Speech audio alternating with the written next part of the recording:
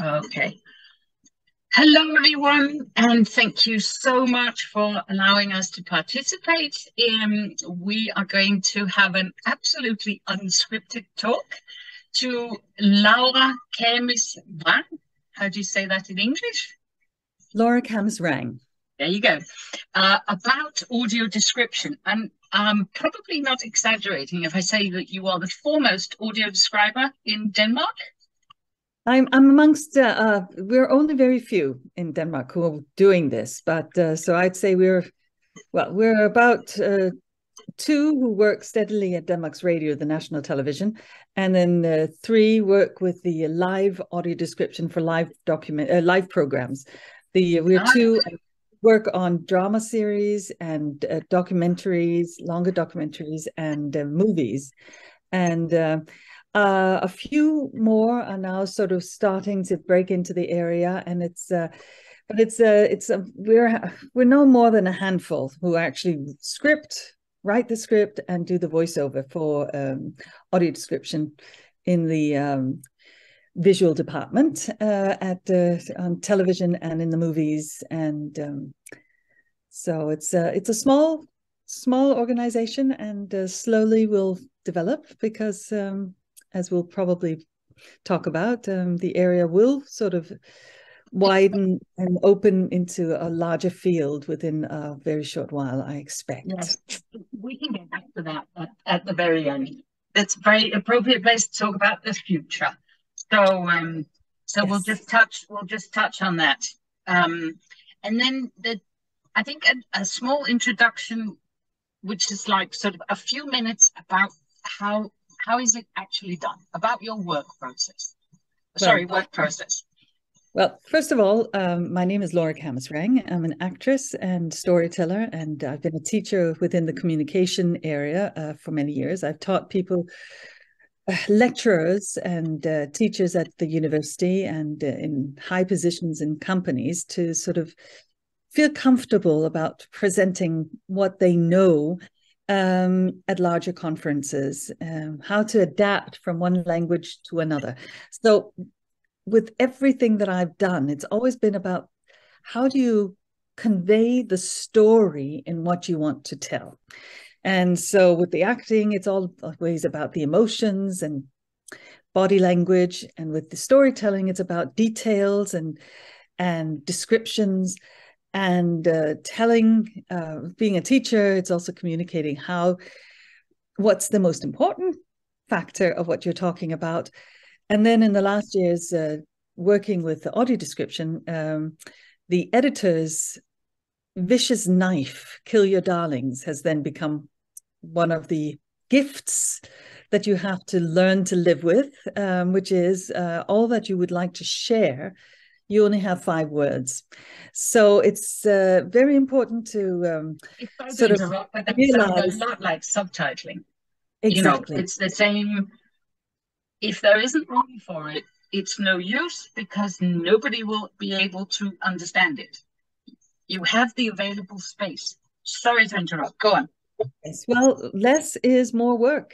And it, uh, that's one of the very sort of raw truths of of any trade, but especially this trade. I think um, um, the reason I sort of uh, I'm so interested in this area, and uh, it, it is because my my own mother became um, hard of seeing the last four years, and then she became blind the last year. And I didn't know that what I was doing, how I was communicating with her, how I was making her feel comfortable in the different settings that she was sort of being placed in that she didn't have any idea of what were um, that that was something called audio description something that people actually work very hard on building the confidence in in sharing and uh, relating with the piece, uh, person who is actually accepting this um, uh, communication which is different. Putting words to what the person sees or would like to see so that they have a reference with other people uh, to what is going on around them. Um, and then this was back in 13 and i had no idea about it because in denmark if you're not part of the danish blind association you're not automatically uh, invited into all the different remedies and, and technical facilities that are technical uh, aids to to help a person who can't see. So I was never introduced to any of that. Uh, but then at one point, uh, a few years later, my my uh, voice uh, acting uh, colleague and the audio describer that I sort of was taught how to do audio description from, she said, Well, I, I have a bit of a cough and I'm doing a live audio description in the theater as an actress. Would you like to help me? And I said, Of course. What are you talking about? Of course, I'll be there. And so what we did was we came into um, a process where, where she had a video, and this is for live audio description. This is and for the theater, which we saw the video of the play, and then we had the script for the play, and then we would sort of figure out what what moments in what we were watching would be interesting. So change of place, change of person on stage differences in physical movement showing how the person feels differently, different effects, and the like, is what we made a manuscript. And in that, very poignantly, with very few words, help to set the stage. And the reason I'm saying this is because this is actually what you're doing when you're doing audio description. When you're on working with something that is live on stage, uh, it you have to be much more uh, flexible because on stage things can go wrong. When you're working with television and you're working with movies, you're actually quite lucky because what is there is what is there, and that's what you have to deal with.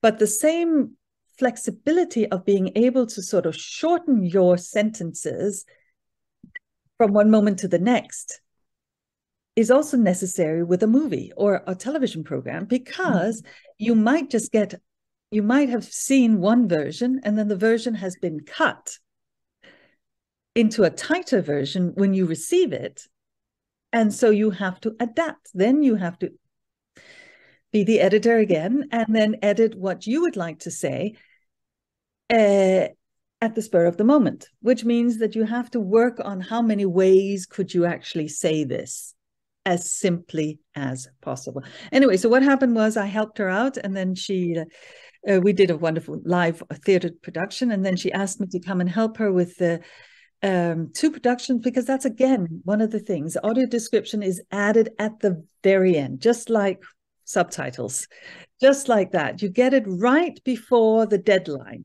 And um, you might, with a movie, you might be able to get it a bit before so that you can actually sort of mm, be lucky with the cinema movies with audio description. We can actually be lucky to get it a little before. Um, but what happens is that you have to be very flexible uh, with the assignments that you get. So um, you might get an assignment and then it's a, a, a documentary and you have two weeks and then you have to give in your audio description. And what the first thing you have to look at when you're talking about audio description is if you see a documentary, the usual thing people will do with a documentary, they'll have a title and the person starts speaking. And then there will be a place where this person is, or there'll be a name. So the name and the title and the place where the person is. And this will be added into the movie. And the thing is, the blind person or the vis- uh, yeah, especially the blind person or the visually impaired person will have a scanner, and that scanner might be able to pick up the text that's being uh, underneath um, the film or which has been added afterwards. But the text that is inside the movie at a different layer is not going to be caught by the scanner. So this is the absolute, if we think of it as a Rubik's Cube, it's the, the basic layer, the most important layer is who is speaking, where are they, and why are they speaking? So Dr. Anna, Anna Louise, she uh, is speaking from the hospital in St. Hans. and so anyway, we know this is a doctor. We know it's an important person. There is a weight to what this person is saying. And usually they'll place it while the person is speaking, which means what do you do? Can you place it before she speaks? Or can you say, Dr. Anna, and then she says something from St. Hans Hospital afterwards?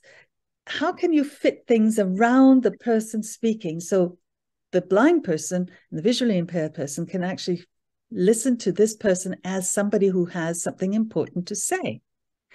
Um, so that's the basic one, which is something you cannot get around. Yes. Um, title, name, title, and place. And then you have the next layer, which is uh, the layer that has to do with a bit more description of where are they and what are they doing and uh, how are they doing it? It's a descriptive layer. If there's some time afterwards, then you can sort of say Anna is walking through the park and this she's walking towards the hospital with all the patients. And uh, the patients are looking through the windows uh, and um, and she's waving to them and this sort of waving to the patients, it shows a relationship, which is the top one. If she's smiling to the patients and they're smiling to her, we know the top layer of the Rubik's Cube is saying the mimicry, the body language, and the relationship between these factors or these people is a nice and friendly relationship. If she walks towards the hospital and the person who was in the window disappears and the blinds go down and the doctor's steps start walking much more disciplined like a march. That's a different scenario. Now we're probably into the drama department. So as so i'd like to say that there is a just like a rubik's cube you have the first layer which is what can't you get around? You have to say this. You have to mention it because if it's not mentioned the person speaking could be anybody could be anywhere. And so the second layer is so what are they doing? How are they doing it? And are they dressed to do it? Or are they not dressed to do it? Are we doing a comedy and it's a, um, a fisherman is standing in the kitchen trying to make bagels or cupcakes? Um, or whatever you know is there a comedy element in this is there something not right in the picture but basically it's who is where and why are they saying this? And then, of course, description layer is that correlating with what we expect from this person? And then the top one is how does this person feel about it? Is there any possibility of talking about how the person uses their mimicry and their body language and how they relate to other people? So with a Rubik's Cube, you have a different layer, which when you go into drama, the drama department, there is the other element of time. And um, that's a bit more difficult because uh, if you have a flashback or you have a flash forward, what happens there? How do you actually? Usually there's a flashback if somebody's reading a letter and that letter was from my dearest one. Ba ba ba. I'm not here anymore. But if you're reading this letter, uh oh, the person is dead. Dear me. then blah blah blah blah. But how was that person feeling? A flashback, going back, telling the story of that person. So, which words would you use to quickly tell the blind person, this person, the patient from the uh, first hospital that Anna worked at uh, sits in the window and she's writing her letter in the moonlight. you know, ba ba ba. How can you fit in something that will place the person speaking in a time frame before what's happening or after what's happening? But again, kill your darlings. You usually have five words. You usually have to be very concise, but uh, using getting to know language, which of course many of you, I'm sure, are very interested in the different values, value criterias of words, the differences of. This is something that you need to know a lot about when you're doing audio description. How, if somebody is sad, are they So, how many different ways can you talk about being sad?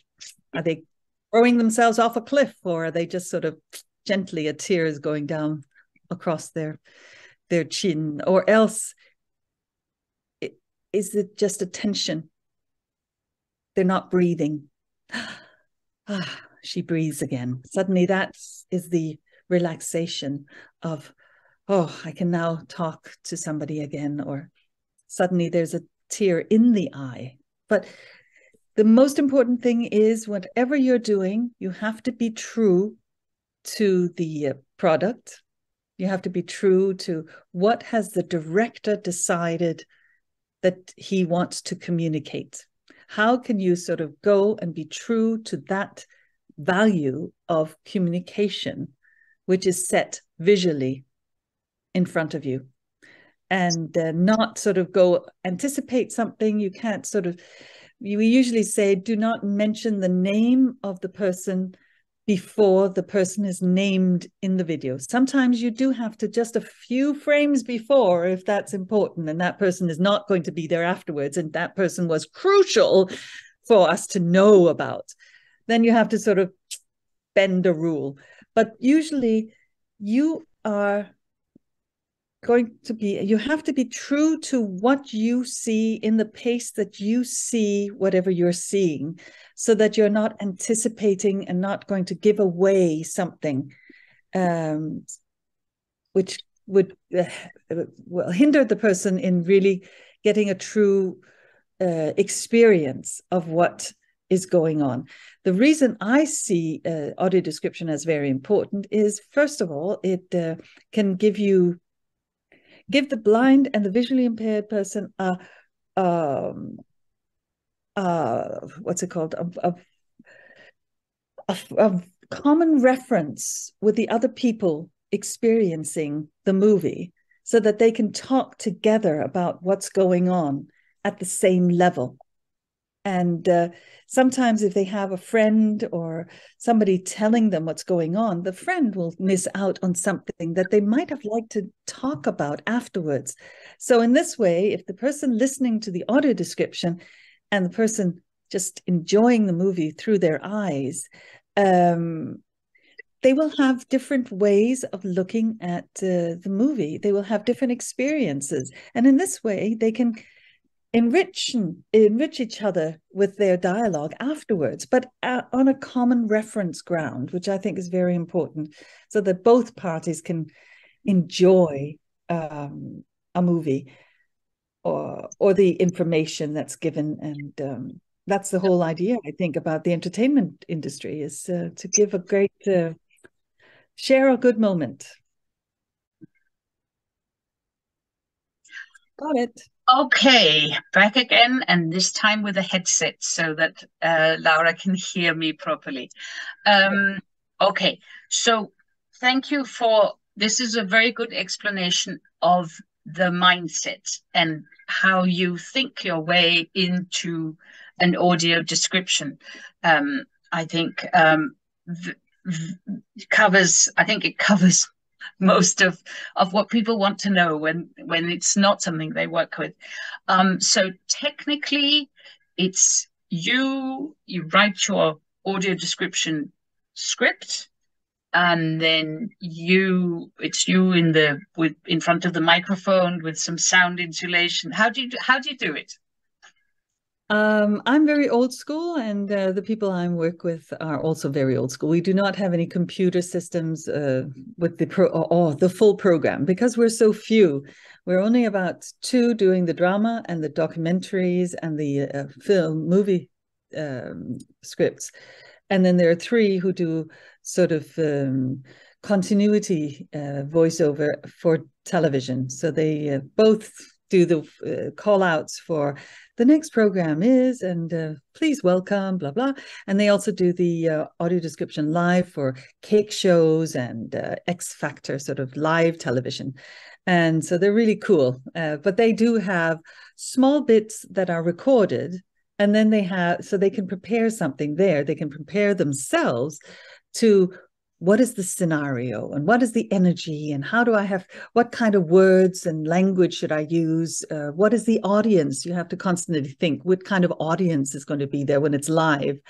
Um, and again, how few words can I use and what would be exciting or fun or something the person listening might want to talk about with the other people, something that's a bit sensational.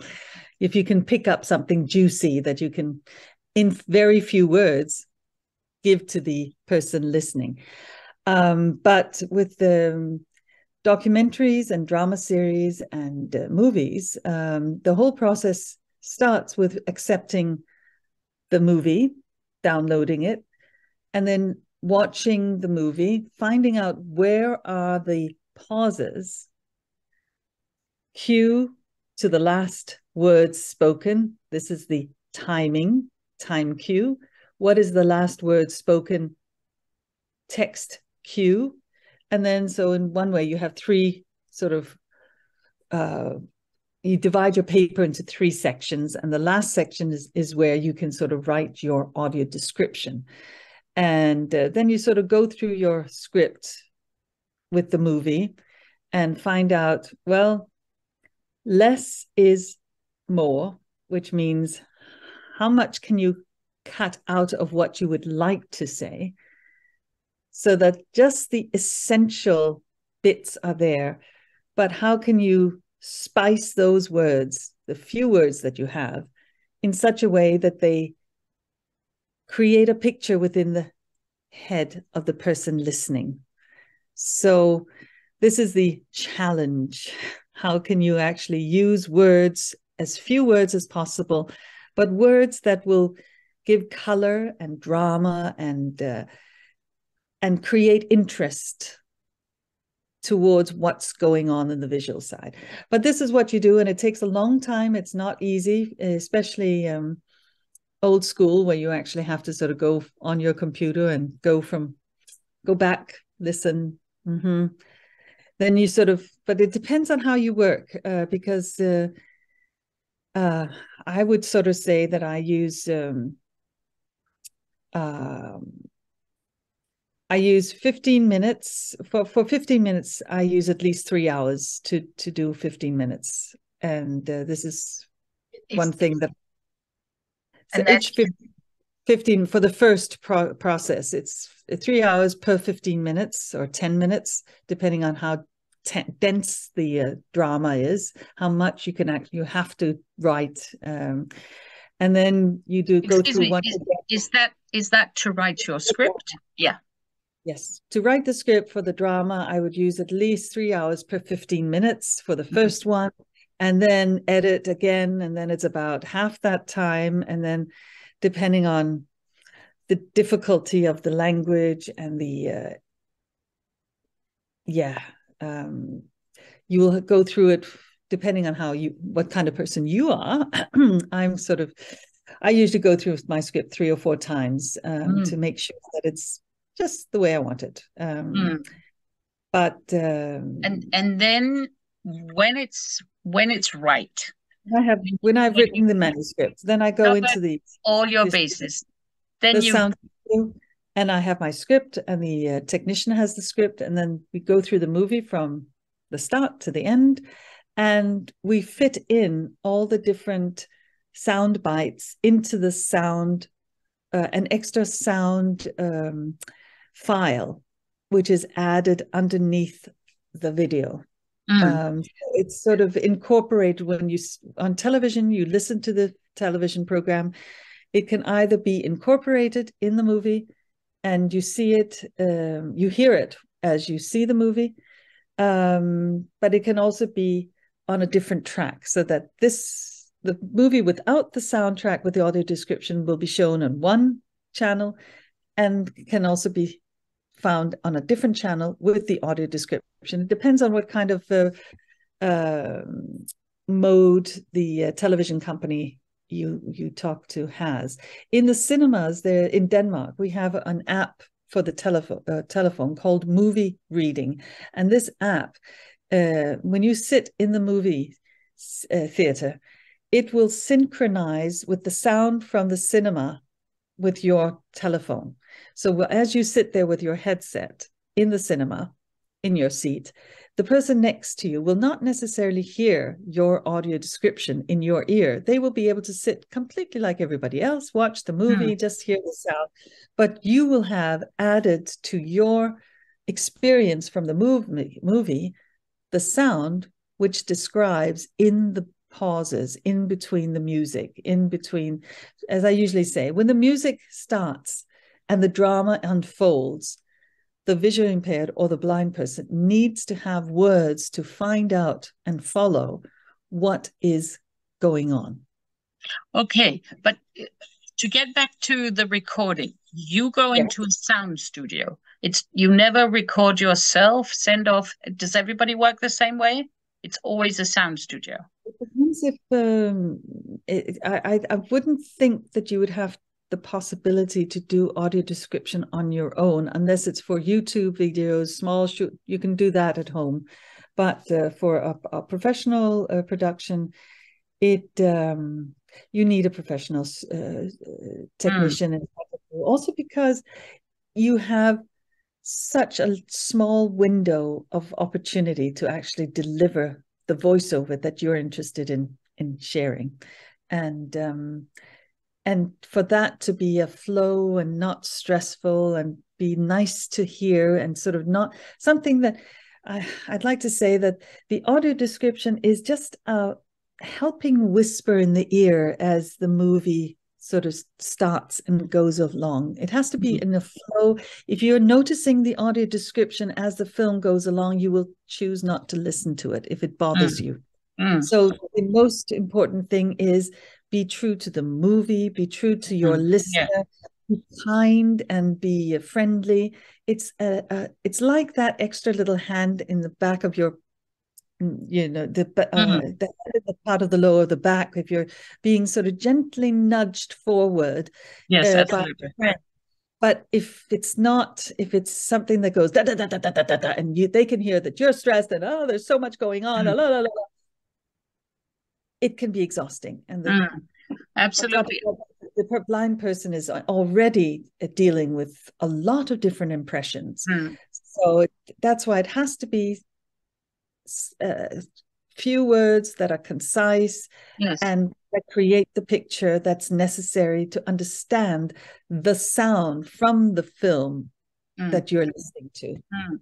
Absolutely. I think a lot of people, the people in the audience who do subtitling, um, will absolutely think of this. It's absolutely parallel to to their own our own product, you know, which is a, a successful um, a subtitling is one that you don't notice. You just have a feeling that you understand this language. You have a, a feeling you and you've had as much as it's humanly possible the same experience as the native speaker watching this film you know whether you're you speak another language or you are hearing in, uh, sorry uh, uh, sight impaired or or blind you know you you have the same level experience. And and that is always our goal isn't it?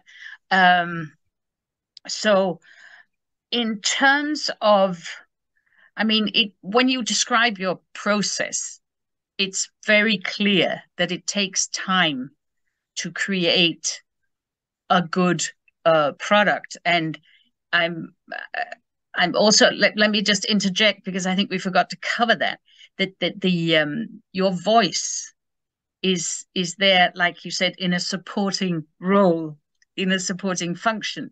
So even though you're an actress yourself, you have to take care not to sound like one of the you know you you can't be dull you know a machine audio description to me is a nightmare. I've I've heard a few. It's terrible, but but you have to you have to not conflict with anything that's going on. Again, just like a subtitler.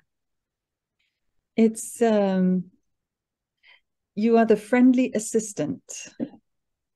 And uh, but I mean if you're dealing with drama, um, then the pace of the movie and your if you are if there's something going on which is very dramatic and you keep telling it like this and that uh, then you're not in sync with the energy of the movie. So of course if there's something going on the the energy that you put into it just a little bit of going you know so if you follow the heartbeat of the scene you can mm. actually go a bit faster and say listen she was walking very quickly and there ah up the stairs suddenly she opens the door and if you can just sort of add a little bit of that that for me seems to that's something that i have uh, received as a good comment that mm. those tense moments when something dramatic is happening it doesn't matter if you sort of just follow that gently but it's mm. but everything has to be as as uh, under your breath as possible mm.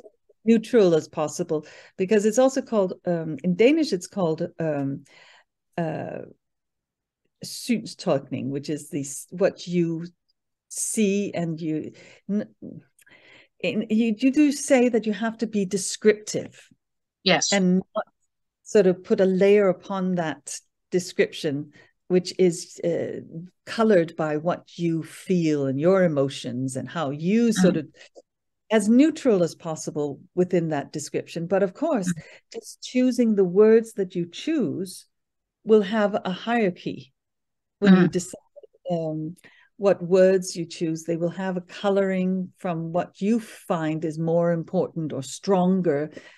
They, there are words that are stronger and there are words that are weaker in mm. a description. Uh, and um, so, so of course, um, that that all influences the the final um, mm. absolutely receiving uh, the receiving the the text. But um, I like what you said about the heartbeat because it's sort of you have to follow the heartbeat of the film and the heartbeat of the scene. Yes. And and not drag it down, but also not inflate. You just have to be this discreet, friendly presence it's, there. Yeah, like you just like sound waves you see mm. the sound waves on the screen well if they're doing peaks high peaks then mm. you're doing something wrong because the person exactly. listening is sort of going oh my goodness yeah absolutely sort of that sort of soft little sort of supportive um, a, a, a murmur uh, of um, yeah which keeps you in tune with what's mm. going mm. on i think that's very important um, absolutely there are different genres there are different yes. moods and tempo and different but and that, documentaries are one thing mm, but there's sorry okay. sorry to interrupt you it's just that we we don't have this that much time left but it's oh. i was just going to mention that of course you know there's film there's documentaries there's but there's also the municipality and and an information video about something important and that may also need all kinds of visual content will need audio description. So so it's a very wide field really. Um and and what we more and more. I mean yeah. in denmark in, in june uh, all the uh, municipalities uh, will have to sort of uh, be accessible uh, in their presentations on um, and they've gotten to the pdfs the yes. And if somebody says video, they go, "Oh, um, uh, no, but we we're good with the vid, uh, written material." And uh, soon hmm. they will get to the point where they say, "Okay, well, videos will also have to be." Um, uh yeah described. Absolutely. But from from an yeah yeah from an adjacent field um when you ask them about or even local tv stations when you ask them about the subtitling and it's mandatory um they just go oh we're waiting for the automatic um you know. So um so maybe a bit of medical thinking there. Automatic voices are a bit difficult still uh in um a movie that I saw with an mm. automatic voice. It was uh, um, in the English version. It was I'm going on a date, and this it was all sort of do do do. And then the Danish one, it was I'm going on a date, but with uh, the intention of understanding 16 uh 16th of February, but okay. not a, a friendly. okay, date. so, like the yes. actual. Oh dear that is not not so good yeah you know, there are things that are missed when it's a computer, especially because it can recognize some things, but it won't. Maybe in 10, 10 years' time, they will be able to recognize everything. And um, I don't know. But at the moment, we're still very important because we do have that sort of uh, the um, edge possibility Absolutely. of using our minds to mm. sort of decide what is important. Yes, absolutely. Now, lots of people are interested in this field but there are not many places where you can train within this field, within the field of audio description. I mean, uh, have you heard of, do you know of anywhere that has any formal training? Because yes, Joel Snyder, Joel Snyder in America uh, mm-hmm. is very active and does courses all the way around the world um, and would be able to sort of be invited to do courses because that's what he does and he actually mm-hmm. invites people to come to the states and uh, they can get a degree after a course there but in mm. barcelona in uh, spain there's also at the university the possibility of uh, uh going to a course and getting a degree in stockholm there's a, a company there and in uh, in sweden there's some uh, places and in london as well there are places but um, it's uh, it's not something that um, no. everyone it, it, the way i was trained was uh, the old school way of having a delivering my version of something to my friend who then gave it gave it back to me and said "Whoop, this is what i'm finally doing in the paper uh, in the yeah. in the script. And i'm going how did she notice that? How did she see that? Okay fine. Well now i know what to do. Oh how did you see this? And that of course is more important. And ah so the hard work of training but uh, that's one possibility you can do many of the uh, different uh, programs like uh, youtube. There is a audio description possibility in some mm-hmm. of these for very short videos.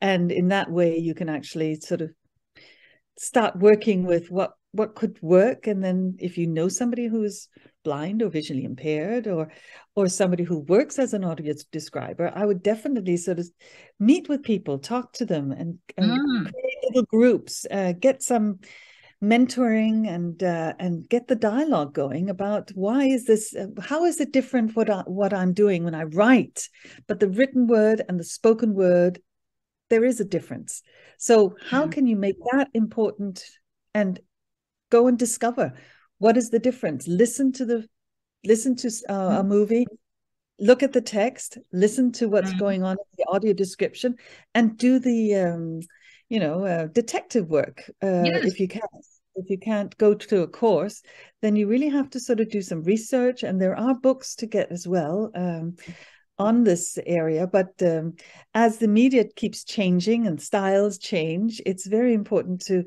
to have a dialogue with somebody and uh, and especially the user if you are in any way able to talk to somebody who, who will benefit from being helped um, then you'll also realize which areas this person does not want any help within that mm. area. Yeah. and you will not do it for that person. And one of the most important things is you cannot you can't win them all. No. and uh, the way that I do my audio description is different from my colleagues' way of doing audio description. And this is the thing that will happen. You will have you, with your your experience, you will have something that you will bring to the field. And uh, but you always have to be open to sort of saying, okay, well, this doesn't work. Fine. Mm. How can I do it differently? Um, okay, so that was that is an amazing a handful of, of really practical tips here. There is practice with using the YouTube function, find uh, written materials, find a course perhaps. Um, I think we, you know, I think it's okay. I hope it's okay, Petra and Sandra, that we ask if anybody wants to know, they can either send an email to the AVTE um, email or they can send one to Petra or Sandra and they will pass it on to us. Um, we'll try and construct some sort of list of uh, resources or, or information um, that, that we have um, if, if there is any interest in this. Um, because um, it's it sounds like there is a way forward, even if you don't live near a university that has a course in this. That is that is really good. And I think we we touched about on the future a little bit, which is that this field is opening up um, because um, there is more and more, more and more content. In 2025, all com companies in Denmark, if they have a website in on which they place a video, this video will have to be accessible. Some people will say, oh, well, we've made a little small description which can be read underneath the video. But some videos actually need to be, um, the description needs to be said along with the video as you watch the video. Mm. Otherwise, it'll be incongruent. Yes, you won't yeah. understand it, and especially if it's an information video or something that's very important, life or mm. death. Mm. This is how you use your your diabetes pen, or this is how you uh, make sure that your vaccination is right, um, or whatever. You know, um, these information movies will have to have um, an audio description way, and it, it, one of the important things I think is. Uh, it is important to say is that it's not only the visually impaired and the, the blind who can benefit from listening to something. If you are stressed, if you have had a brain concussion, if you have uh, any of the other, if there are any sort of cognitive uh, challenges that you experience, if you've had, um, uh, well, if you are word blind and you can't follow the text which is going on underneath, if you're new to the language and you feel insecure and you know that you have to ask somebody about this and and what was the name and uh, if you are physically uh, oops, I just if you are physically um, not able to use a mouse while you are watching because your hand is in a cast or whatever, uh, being able to hear the uh, instructions while you're watching is something that might really benefit a very large group of people. Mm. And um, this is something that people are not so aware of because they don't listen to an audio description because, well, I can see, I can hear, yes. so I don't need this extra thing. But in Finland, they say up to 20% of, of society can benefit from both mm. listening to a supportive uh, description alongside the video uh, mm. version of an information movie. And I think this is very important. Um, but so I, I, a little I, help, but it helps a larger group of people. It, it really does. And as somebody who uses, quite often uses uh, visual content as a form of radio because I'm doing something else at the same time, you know, um, you can also benefit from the audio description in, in that case. Well, I think we've gone way over our time. This was fascinating. Thank you so much, Laura. And, and thank you to all of you, all my colleagues. And um, if you have any questions, anything, just um, just feel free feel free to ask um, and thank you very much. Well thank you for asking and i hope everyone will have a great experience